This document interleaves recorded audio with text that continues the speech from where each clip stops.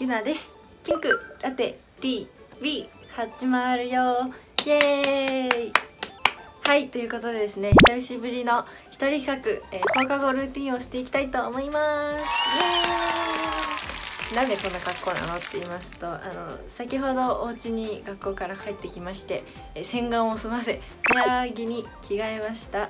最近ずっと着てるルームイを今日は着てます。放課後ルーティンって言っても今日の予定は塾行くだけなんですけど今日はその塾行くまでのルーティンをしていきたいと思います。ちなみにね学校帰りなんで裸眼でスピンなんで注意を取りたい感じですはいということで早速、えー、ゆなの放課後ルーティンをお楽しみください。せーの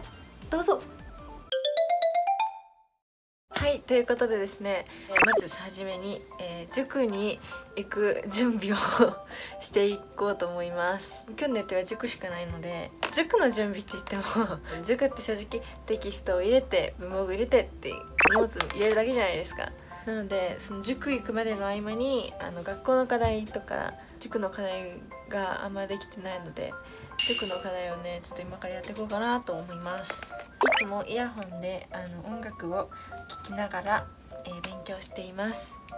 好きな曲を流してノリノリでやるか動物の森の BGM みたいなのを流すか波の音？これを友達に教えてもらったんですけどめっちゃ集中したい時はそういう BGM みたいな曲を流します。短期集中みたいな時は洋楽をかけるかテンション上がる系の曲を流すか自分がもう知っててもう歌っちゃうみたいな曲を流すかしてます。だから自分の知ってる曲ってさ流さない方がいいんでしょ確か。なんかね流さない方がいいんだって。歌っちゃうから。確かに歌っちゃうわと思って。歌っちゃっていいんです。勉強が楽しいものだよっていうのを自分の中で錯覚させていくっていうのは結構大事かなって思います。勉強が好きじゃないから好きじゃないけども受験生なんです私。できる限り集中できるか楽しめるかっていう環境を作りたいなと思っております。最近ほんと平日とかも休日もねもう塾と家と学校の往復みたいなのが多いので受験生って改めて大変だなと思いながら頑張ってます。今年受験生の方一緒に頑張りましょう。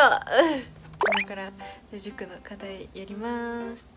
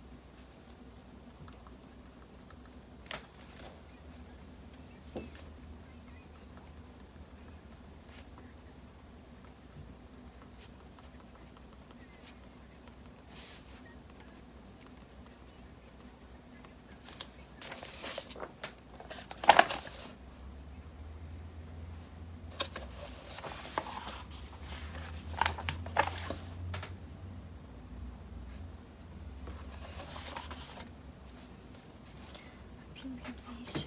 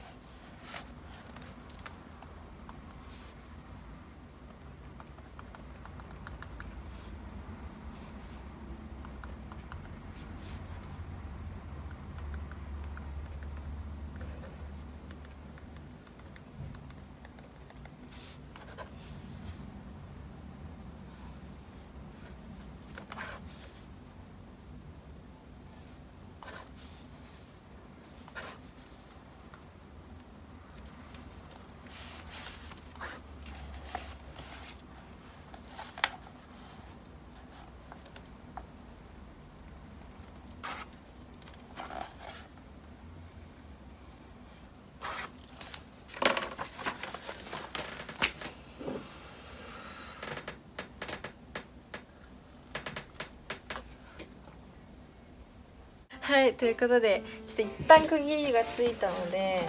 終わろうかなと思います。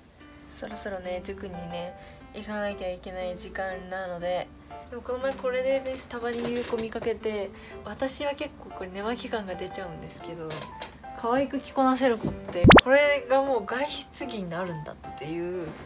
のに驚きましたっていうちょっとした羨ましいエピソードなんですけど私的にちょっとこれ外出るのは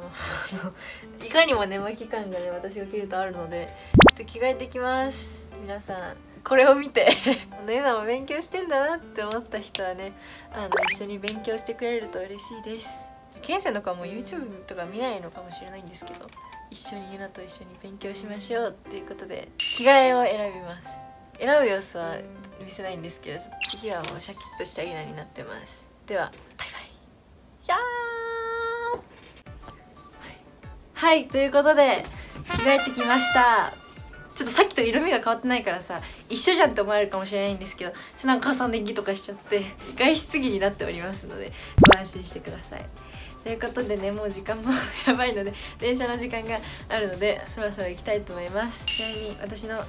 塾のカバンはこちら。じゃじゃん。こブランドって言われたらちょっとわかんないんですけどあの大人っぽい感じの高見えする感じの あのバッグを買ったのでちょっと紹介しちゃいました。ということでですね今から塾に行かなければいけませんので 行ってきます。みんなまた後で会おうね。バイバイ。はいということで塾から帰ってきました。ただいま先にちょっとお風呂に入ってて軽く勉強してたらちょっと日付が変わってしまってそろそろ寝ないと明日起きれないので寝ます。今日はなんかね疲れた一日でしたね。塾も今日は特別ちょっと長かったですし今日は頑張ったのでいつもより早めに寝ようかなと思ってます。なんか私の放課後ルーティンっていうよりはなんかもう受験生の人のみんなのルーティンって感じだったんじゃないかなって思います。もうね私は眠いのですぐ寝ます。で寝る時はですねこちらの、えー、煉獄さんバッジをこうつけます。荒れちゃうのでおでこが。さっきねこれつけたまま撮ろうと思ったらありえないくらいオフ感が出ちゃって。ということで、えー、受験生の皆さんゆなと一緒にストレスとかいっぱい勉強しなきゃとかあるけど頑張りましょうということでもしこの動画がいいと思ったら高評価チャンネル登録通知オンよろしくお願いしますバイバイおやすみなさいバイバイ。